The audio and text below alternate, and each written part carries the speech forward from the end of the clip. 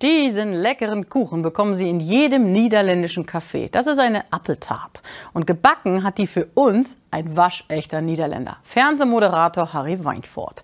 Der wohnt in einer Bauerschaft bei Senden und hat uns im Karneval nämlich ein Versprechen gegeben. Und das hat er jetzt eingelöst. Sogar bei 35 Grad im Schatten. Respekt.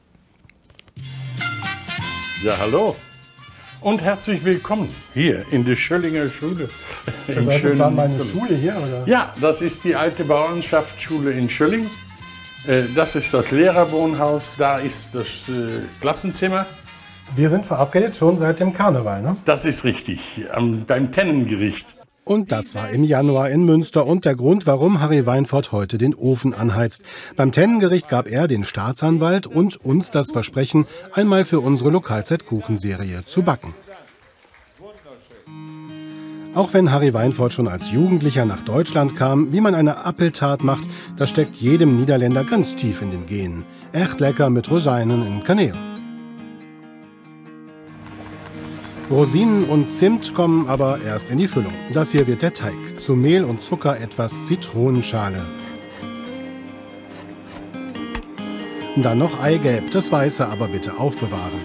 Außerdem Butter und Salz. Warum die Niederländer ihre Appeltat so lieb haben, erklärt sich Harry Weinfort so. Weil wir sehr viele Apfelbäume haben, seit Generationen, seit Jahrzehnten, Jahrhunderten. Und dadurch, dass wir ja die Kolonien hatten, hatten wir ja auch Zugriff auf Gewürz. Und Zimt haben die schnell entdeckt, dass das sehr gut in, bei Apfel dazu passt. Zum Backen hat ihn seine fränkische Ex-Schwiegermutter gebracht. Der hat immer Blechkuchen gemacht und, und, und vor allen Dingen Weihnachtsplätzchen. Und da habe ich gesagt, Mensch, das hätte ich, da hätte ich auch mal Spaß dran. Und dann habe ich gesagt, ich gebe dir ein äh, Kochbuch und danach habe ich Plätzchen gebacken. Aber ich habe mich exakt an die Vorgaben gehalten. Dann habe ich Vanillekipfel gemacht und habe ich ihr ein Tellerchen Vanillekipfel gebracht. Ich sag, oh, hast du Plätzchen gebacken? Ich habe gesagt, ja, eben ein Vanillekipfel. Dann nimmt sie eins und steckt die im Mund. Und so, umgedreht und hat drei Tage nicht mehr mit mir gesprochen, weil meine Vanillekipfel waren besser als ihre. Und auch dieser Teig ist ihm gelungen. So, der kommt jetzt für eine halbe Stunde im Kühlschrank, damit er schön durchziehen kann. Für die Füllung braucht Harry Weinfort sechs Äpfel, brauner Zucker dazu und das absolute Muss neben den Rosinen der Zimt. Das ist das Wichtigste überhaupt. Das macht ja diesen Kuchen ja erst äh, so richtig holländisch. Und das geht auch im Sommer. Das äh, Apfelkuchen geht immer. Jetzt kommt zusammen, was zusammen gehört. Dabei ist der Niederländer an sich gar nicht so fürs Backen.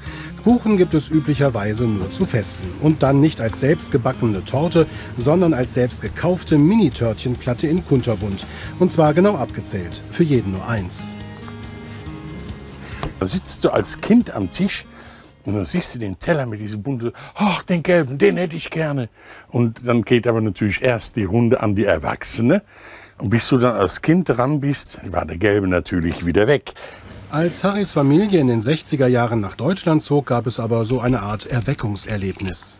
Da waren wir bei einer Bauersfamilie eingeladen, wo wir da unser Milch immer gekauft haben. Und da standen dann drei große Bleche mit Kuchen auf dem Tisch. Und mein Vater sofort, nur ein Stück, nur ein Stück.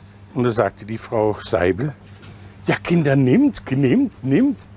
Und das war dann der Anfang vom ähm, Ich genieße Deutschland.